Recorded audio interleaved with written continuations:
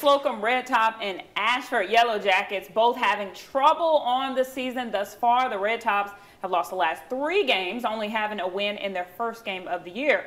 And it's the same story for Ashford, who have lost the last four games, but won its first when they played Graceville. Slocomb unable to get much done with kickoff. They were getting the ball first. Ashford now with it. Court Paramore is able to crunch through traffic for a first down, looking to set something up.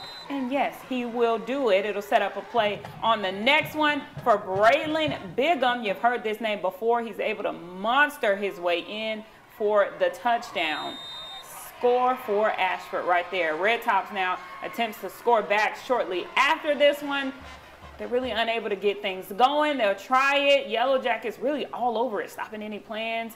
They still struggle right here on offense. They look for the throw. It's incomplete pass and a pass interference from Ashford. Slocomb fumbles and loses the ball on that drive. They're unable to get much going, and they fall to Ashford in this one, 14 to 7.